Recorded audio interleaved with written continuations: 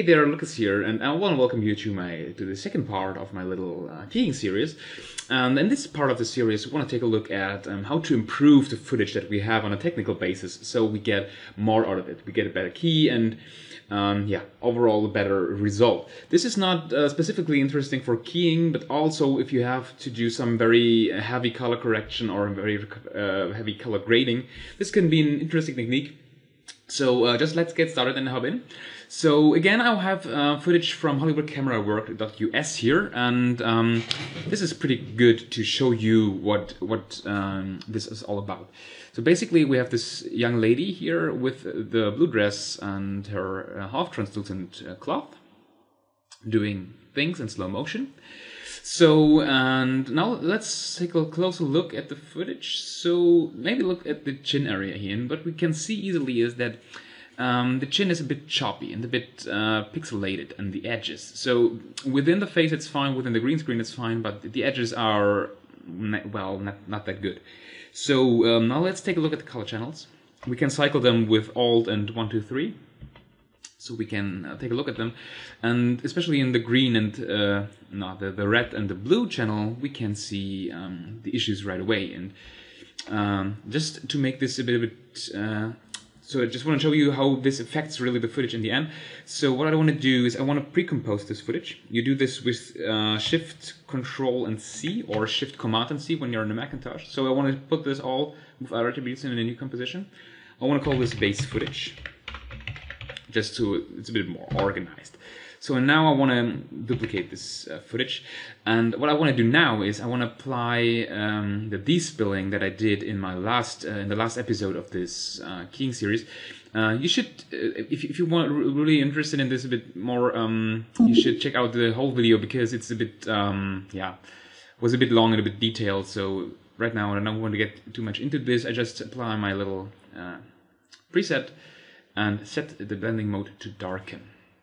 So now we can have, we have the despilled uh, version of this footage and we can easily see in the hairs and around her chin that this is really not uh, really good. So we have a few problems um, that we will have to face and what are we going to do about this? So what I want to do is I want to step into this uh, comp. So we have the base footage in this comp.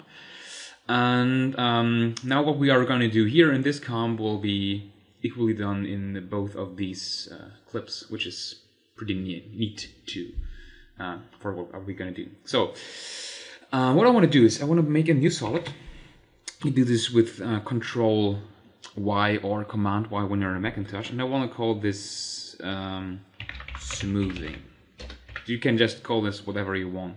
So make comp size and what I'm going to do first is I want to set this little switch so it's an adjustment layer because it's um, an adjustment layer and the solid the basic uh, difference is this little switch. So and now I want to get an effect called median. So median um, is basically an effect uh, used for noise reduction.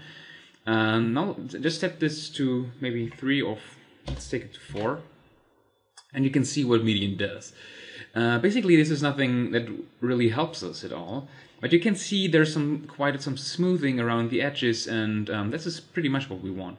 So the, uh, the, the key what we're going to do now is we don't apply median to the whole image, but only to the color channels. So when we get the blending mode to color, we will only affect the color channels, and uh, equally when we do it to uh, luminosity, we will only affect the luma channel.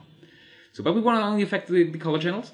And the, uh, the basic thing what we want to do with median is we want to set this value as low as possible. Also, um, median is a bit slow, so you might uh, consider to, um, yeah, pre-render uh, the clip before you go into keying. However, I want to don't want to do this right now, so I maybe set this to three. So this could already help. Maybe two. Uh, maybe even one is enough. Ah, no, that's not enough. So I want to put this to 3, so we have a pretty good value. Now let's uh, head back to our comp with, um, with the despill on. And you can already see how much improved, uh, how much this easy trick improved our, uh, our footage right away.